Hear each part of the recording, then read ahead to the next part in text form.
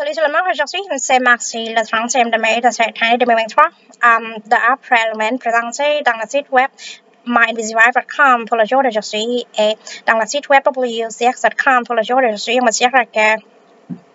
La nouvelle vous fait savoir ce qu'il faut savoir concernant le boire et le manger pour la fête foraine annuelle que l'on appelle Champlain Valley Fair. C'est le qui se fera dans les mois à venir à partir du 25e du mois d'août jusqu'au 3e du mois de septembre de cette année 2023 à la localisation annuelle réservée pour cette fête foraine située dans la ville Essex Junction de l'État de Vermont des États-Unis.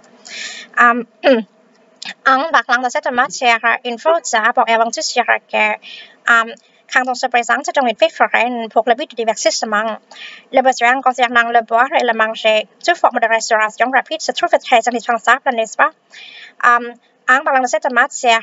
on peut dire que um, c'est le restaurant qui s'appelle El's French Fries de l'État de Vermont des États-Unis. Um, celui qui avait participé à des fêtes foraines dans les années passées. Um,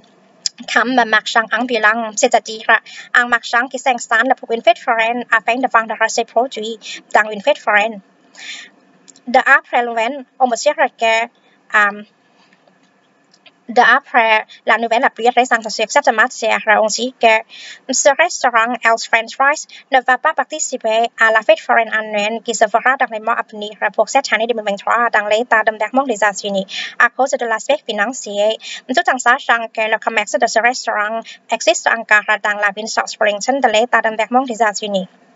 Um, D'ailleurs, um, en parlant de ce restaurant El's French Fries, on dire que um, pour tous les raisons habitant dans l'État de Vermont des États-Unis qui se sont familiarisés avec ce restaurant El's French Fries, on peut dire qu'il est bien connu pour ses French fries. C'est le signe de faire briller la pomme de terre à l'huile pour confectionner les tiges de pommes de terre que l'on appelle French fries. D'ailleurs, il se trouve des autres repas riches à la façon américaine tels que hot dog, hamburger,